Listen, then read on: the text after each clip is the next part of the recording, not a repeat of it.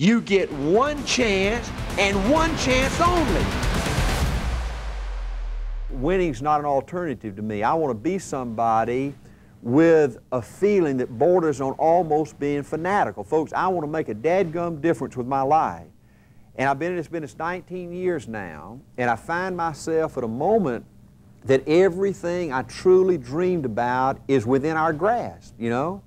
And uh, A.L. Williams, I've told you this before, but when, when I envisioned in 1976 with, with those 85 people, we began to visualize, you know, founding our own company and knowing the obstacles that we had to go over just to survive. You know, the biggest problem you have when you go in business is just surviving. I believe uh, the main reason most people fail is they just don't give them time themselves enough time in business. 90 plus percent of all people that go in business in America fail, you know, the first year. And everybody's just always quitting right before they give it enough time uh, to work for them. And so oh, the biggest challenge we had in our initial uh, years at A.L. Williams was just surviving. We were always having to change companies because we wrote companies out of money or wrote them out of administration. Uh, we just didn't have the things we needed to really compete and win with. And we were just a struggle just to survive.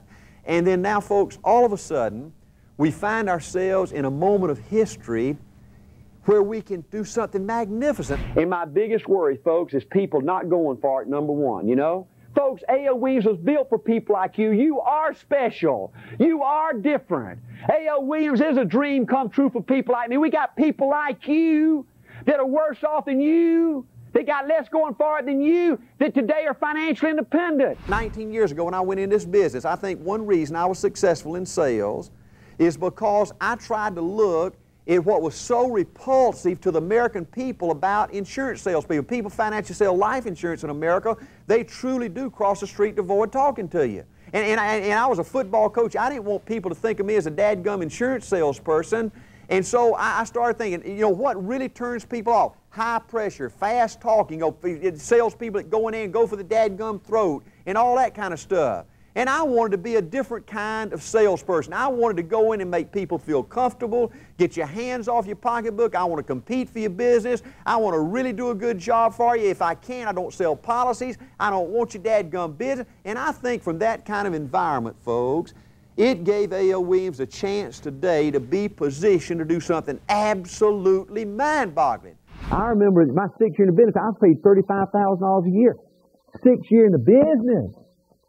I know very few full-timers that come to work at AOWs that do as little as I did for as long as I did, right? But see, what you do is you look at the results of my 21 years of work and you say 200,000, 6,000 RVPs, a mansion, an airplane, a yacht. I can't see an old coach doing that. I think that's what kills most people in this business. You don't think it can happen to you. I've been told all my life that people that look like you, that come from where you come from with your education, that ain't no way you can build something gigantic. Some of you jokers out there in the field that are making a million a year and 300,000 a year and 100,000 a year, I want you to know I've been told all my business life that people that look like us, that come from where we come from, ain't capable of building something magnificent, building something with class. I worry that the success in A.L. Williams, the awesome success, I mean, I'm already getting this from some of you right now. We get up here and we show this awesome success, this intimidates you, and you say, I can't be that good. I can't be that good. I can't compete. Don't, folks, don't let, don't, don't sell yourself short. It was built for people. None of us ever thought we could be this good. I never saw Art Williams being a salesperson, a leader, making big money, having great response. Try. Go out there and try.